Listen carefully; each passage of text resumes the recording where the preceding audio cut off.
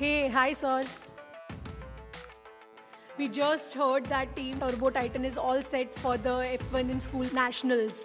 So, how's the energy in the team right now?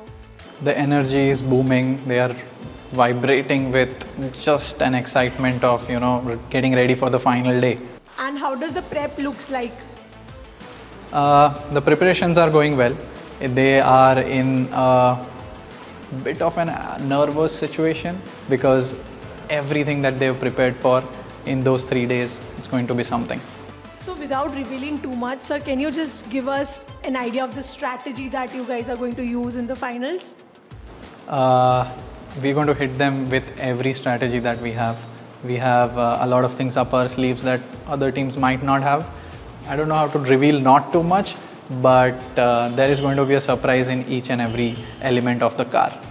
So, sir, what is the final message that you would like to give out to the team Turbo Titan before they enter the nationals?